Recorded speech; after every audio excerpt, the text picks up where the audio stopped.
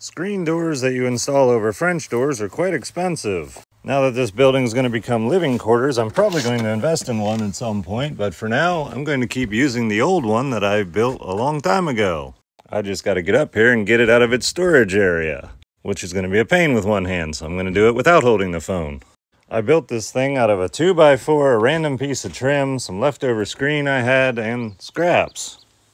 Just throw the latches on the stationary door panel just take my contraption, push it up against the seal of the door, and run two screws in it. Now, throughout the summertime, that door can stay open and this door can still close and latch. I didn't do anything fancy, I just simply drilled a hole right there in the 2x4, and now I can shut the door with ease.